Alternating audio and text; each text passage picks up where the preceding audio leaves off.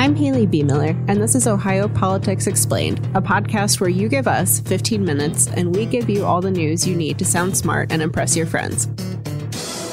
Welcome back to Ohio Politics Explained. Today, we'll discuss new rules for ballot drop boxes, the current state of our congressional map, how transgender issues are dominating the Ohio Senate race, and why House Republicans owe nearly $2 million. With me today is our bureau chief, Anthony Shoemaker. Hey, Haley, it's almost election day, getting closer. Almost less than three weeks now, Yeah. right? Crazy. All right, speaking of elections, let's talk drop boxes. The Ohio Supreme Court ruled this week to uphold a new policy for the November 5th election, which says Ohioans may only return their own absentee ballot via drop box. Secretary of State Frank LaRose said anyone returning a relative's ballot or helping someone with a disability needs to go inside the board office and sign a form. Voting rights advocates sued over LaRose's directive, but Republicans on the court said it's too late to change anything at this point. Remind us where this directive from LaRose even came from.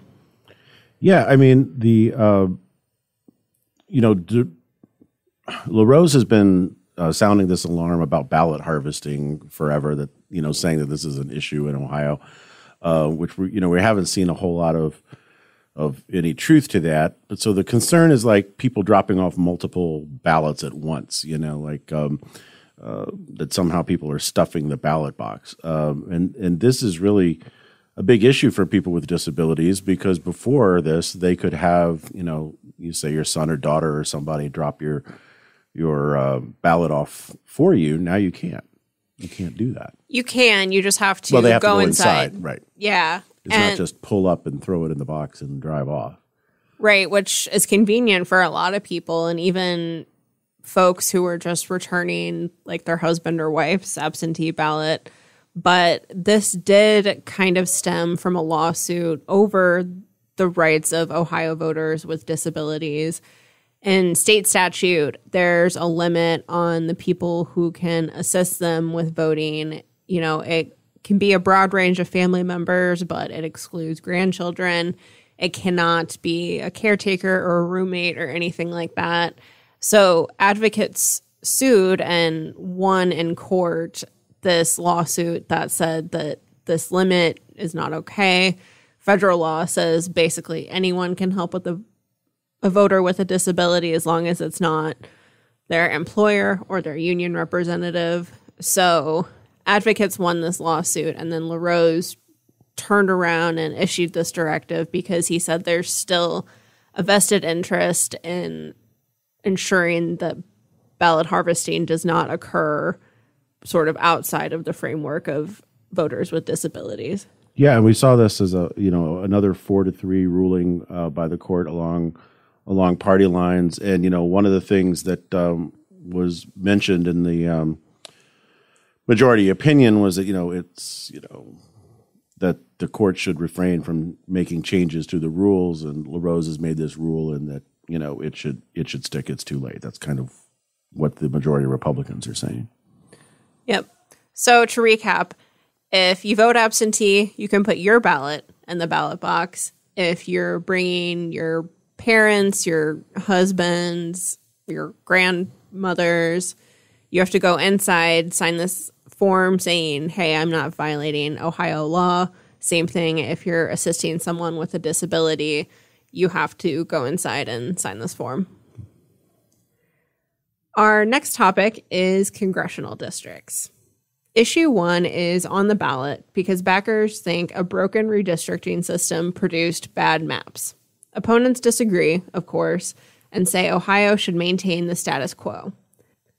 The League of Women Voters of Ohio, which backs issue one, dug into some of the odd aspects of our congressional districts. So, what do things look like right now? Is our map gerrymandered?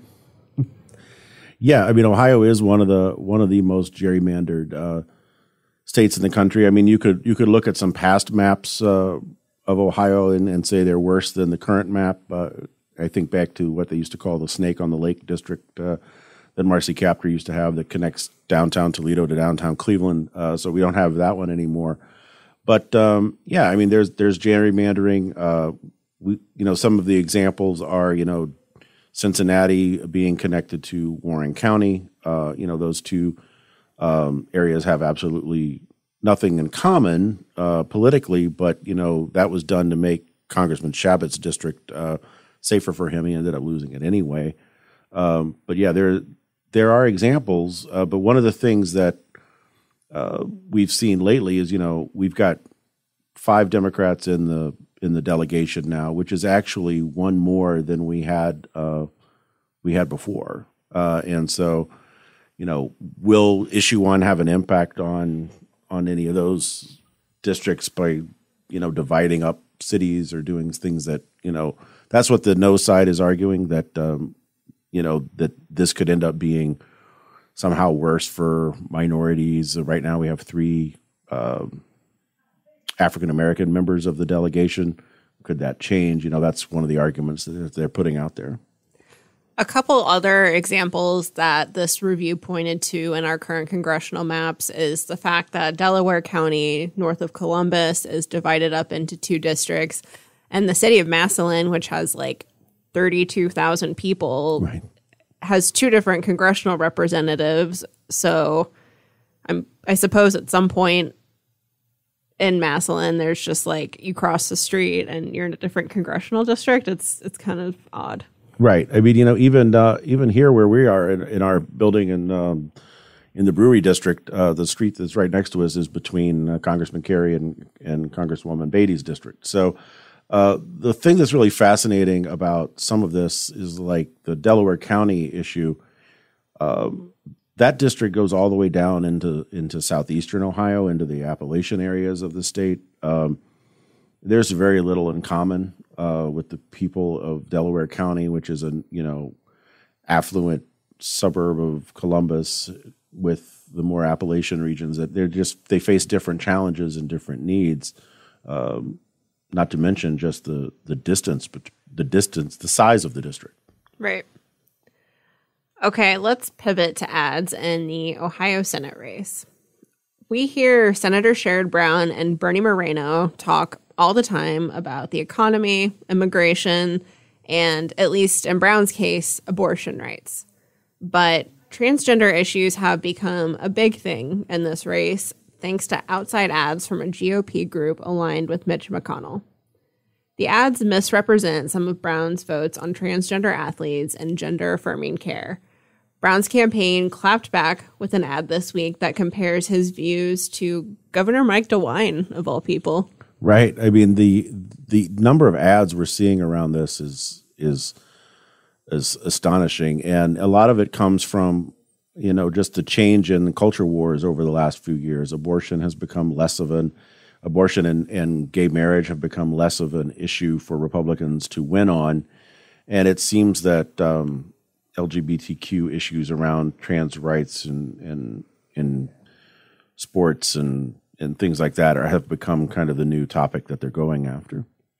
And I talked to a professor from the University of Toledo about this. She specializes in LGBTQ politics and pointed out that this is like the only culture war issues where Republicans have voters on their side, or at least they think they do, public polling has shown that voters in Ohio and nationwide have pretty complex views about transgender rights. They're kind of skeptical of this idea that transgender athletes should be able to play and on teams that align with their gender identity. A lot of people seem to have concerns over gender affirming care for minors, but when advocates talk about these polls, they point out that there's so much misinformation around these issues. You know, looking at gender affirming care for minors, for example, most transgender kids aren't getting transition surgery until right. after they turn 18. So I think Republicans are trying to, you know, capitalize on that confusion a little bit, maybe in general and in this race, it seems. Yeah, it's a very, you know, there are very very few um, transgender athletes playing in Ohio uh, school sports. Um, but the amount of coverage that they're getting and, and in these ads, you, you would you would think that you were talking about a lot of a lot of kids. I mean, this is um, is becoming a I don't say it's kind of blown out of proportion, but it it's making it seem like there's way more uh, um, children going through this than reality. And it's worth noting too for listeners who may see Brown's ad pop up he is very much an ally of LGBTQ rights. His ad kind of, I don't know if downplays is the right word, mm-hmm. but it really pushes a more moderate stance. And while these ads have misrepresented the specific votes that they have cited on transgender athletes, things like that, you know, he's been credited for his work helping gay and trans Americans and Ohioans and so it's just it's interesting to watch him navigate this. Yeah, and you know this these ads are showing up all over the country, uh, not just in the Ohio Senate race. This has been a topic that Republicans um, nationwide think they can um, win over some voters on. All right, finally, let's discuss why Ohio House Republicans owe $1.6 million for an office lease. Under former Speaker Larry Householder, the campaign arm signed a seven year lease for a space downtown to use as their headquarters. Then, Householder and political operative Jeff Longstreth, whose firm also signed the lease, got arrested.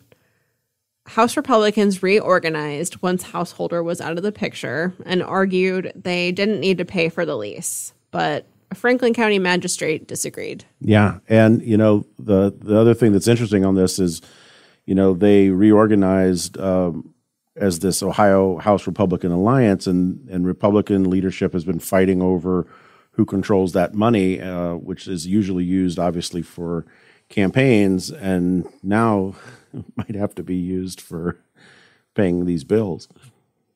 Just another example of how Republicans can't seem to escape Larry Householder. Even from prison, he's making the pay. And one more thing before you go. If you want to vote for Green Party candidate Jill Stein, your ballot won't count. There was a hiccup with Stein's campaign paperwork because she didn't choose her running mate before Ohio's deadline.